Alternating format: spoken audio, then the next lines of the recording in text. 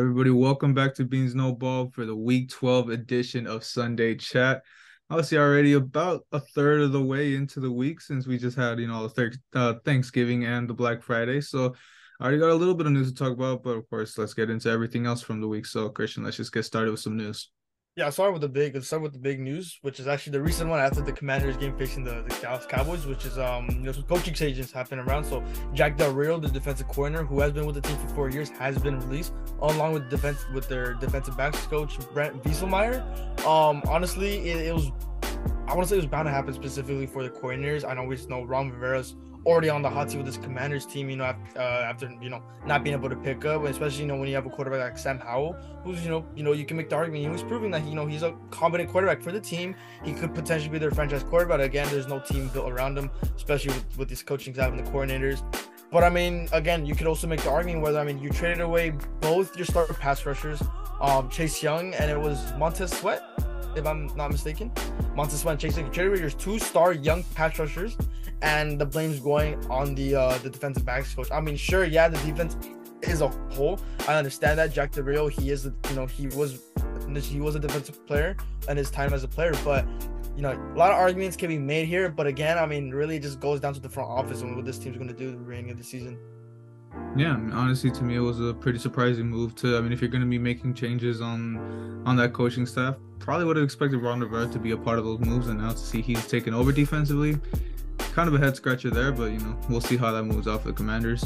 Uh, moving into pretty another pretty surprising headline that we we got to see here. Travis Kelce has apparently been contemplating retirement in the you know in the last couple years, and I mean if if we really think about it, I mean sure, I mean he is only two years younger than you know his older brother Jason, which he is 35. Uh, Travis is 33 you look at, you know, he is getting up there in that age, you know, once you're getting into those mid 30s, you know, after so taking so many hits. I mean, Travis does talk about, you know, all all the um all, all the surgeries and and all you know the lingering pains that he he has had to go with.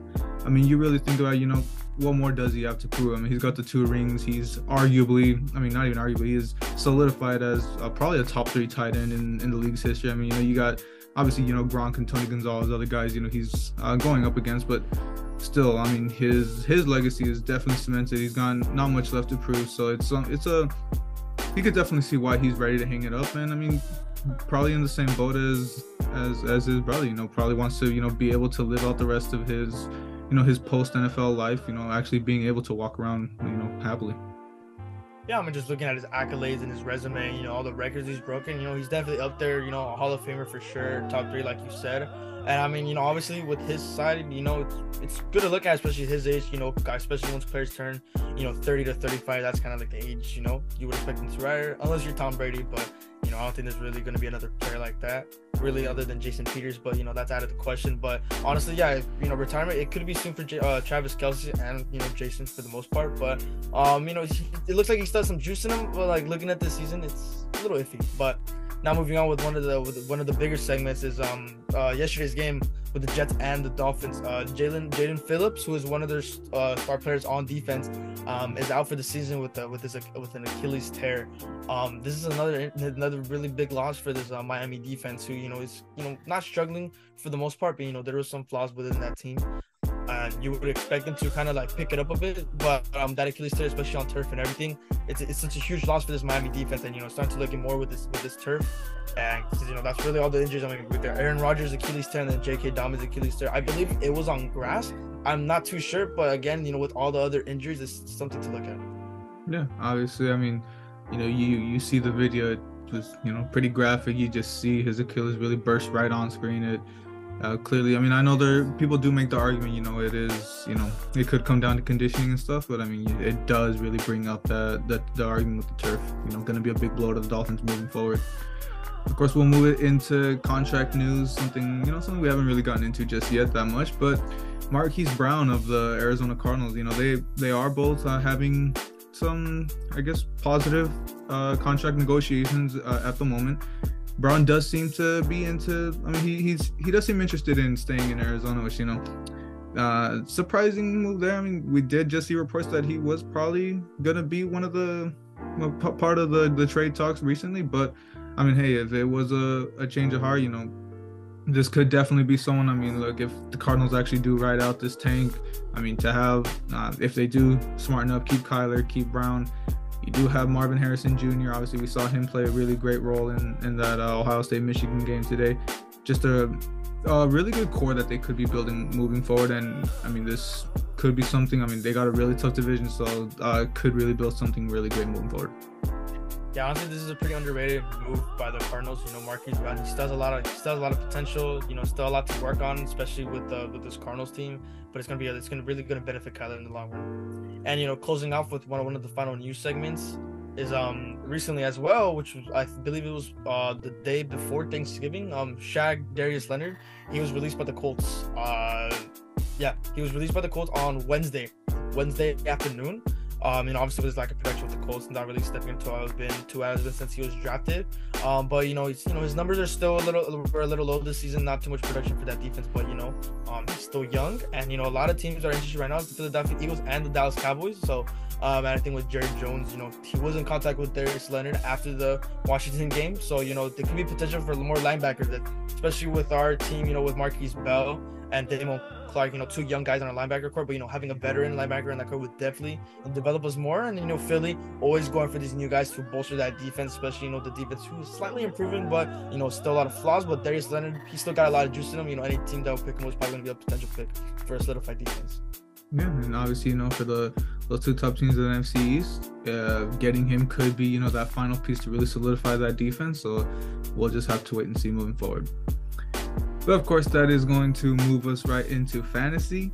Uh, Christian, the the season has been kind of going, I guess, two different ways for us. You at the top of your division, me at a measly four and seven. I mean, I'll, I'll just get into it uh, with my team. I mean, it's just uh, been rough going forward.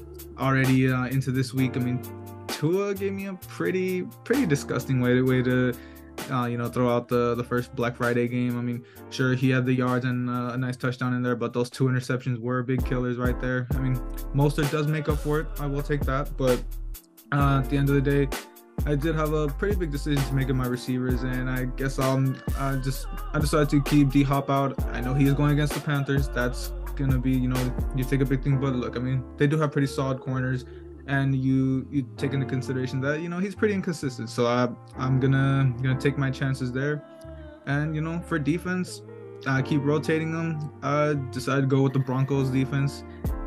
It is kind of you know.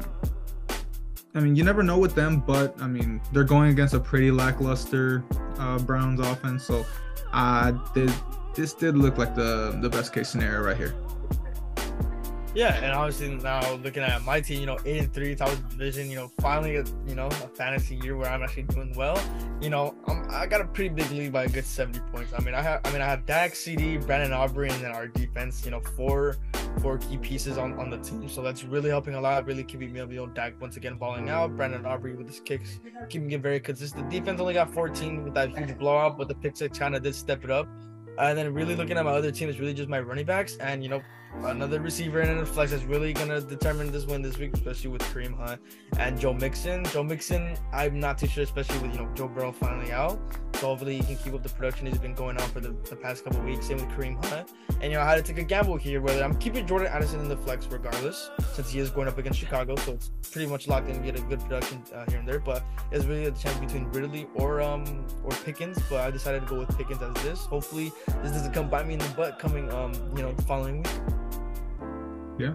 So I mean, obviously, you know, your players as well. You know, they are hit or miss. We'll we'll just have to wait and see. And you know, we will keep it with your players here in the cash or trash from last week. You know, we were on receivers, and I'll just start off with with our, our trash players because you know those were the guys on your team. You decide to throw Ridley in there, and he decides to have the the game of the season for himself. I you know I went with Pickens, and you know he had his his average you know under 10 games, so I, I took the win there, and you know as for as for cash, you know, we had the little argument that I wanted to take CD and you know you wanted to keep him for yourself. So I went with Keenan Allen. And that worked out just fine for me. So I go back up to here and you know now obviously we move it into tight ends and obviously you know we always keep saying picking gets slim but there's still some uh, serviceable guys out there so for me I'll, I'll start it with a game I just uh, talked about recently and I um, probably won't look good if it goes good for me in fantasy but David Njoku from the Cleveland Browns, uh, definitely as, as I said, you know, he's going against a, I mean, sure, a pretty pretty good, pretty resurgent Broncos defense. So uh, we will have to wait and see how this moves up. But I mean, he is a pretty big focal point. I mean, if it's not Amari Cooper, it's definitely going to be him. So uh, I do expect him to get a good, decent production. Who knows how good it goes, but uh, expect him to get a good chunk. And as for trash, I'm gonna go with the Raiders and uh, Michael Mayer. It's an easy matchup to go with here. I mean, they're going against the Chiefs. Uh, Mayer has hasn't really been involved in that Raiders um, offense. I mean, it's been a, a struggling passing offense uh, to say the least. So um, I I believe uh, Mayer is gonna have you know just another slow uh, slow game here. Yeah, obviously two solid picks, but you know with our like compadres in the butt, but you know with, with my picks this uh, for the tight ends, I have um, Dalton Schultz for my my cash pick. You know, Dalton Schultz it's a familiar face for me, especially within the Cowboys, Dak security blanket. Um, you know, with his production that he's been getting with CJ Stroud uh, these past couple weeks. You know, sucks to see that we let him go, but you know he gambled on himself, and you know that's what happens a lot a lot of times with these players in the in the league. But you know, I'm stick with him with the cash pick, so hopefully he gets a lot of production, especially with CJ Stroud throwing on the ball. And then for my trash pick, I'm gonna go. I'm gonna go Jonnu Smith. I mean, we see how depleted this Falcons team is. Um, they're finally starting to get Kyle Pitts involved more. But once again, you know how Arthur Smith is. He likes to, you know, I don't know what, what his scheme is, but you know, not adding Bijan, and then you know you have two two you know competent tight ends, Kyle Pitts and Jonnu Smith. But you know, somewhere so somewhere in there, Arthur Smith's probably gonna you know screw something up with with the tight ends. They're probably not produce them. So Jonnu Smith, sadly, he, he's gonna go for my trash pick of the week. Once again, I, I really hope this doesn't come by me back. Yeah, I mean, you know, as for me, you know, you would hope he actually keeps u- using Jonnu and maybe maybe Pitts is the one to get to stay a little lower, but you know, we will have to wait and see. You never know with those Falcons. Of course, that's going to wrap us up for Cash or Trash and the Week 12 Sunday chat as a whole. Uh, definitely, you know, uh, hope everyone had a, a very nice Thanksgiving. Obviously, you know, uh, both of us on different parts, so had to get this uh, a little early, pre-record this for the first time that we've made Sunday videos of course we appreciate everyone's support all the all the love. You know we, we definitely do see you know, some some growth of course. So uh hopefully you guys can stick around for upcoming videos and i'll see you guys real soon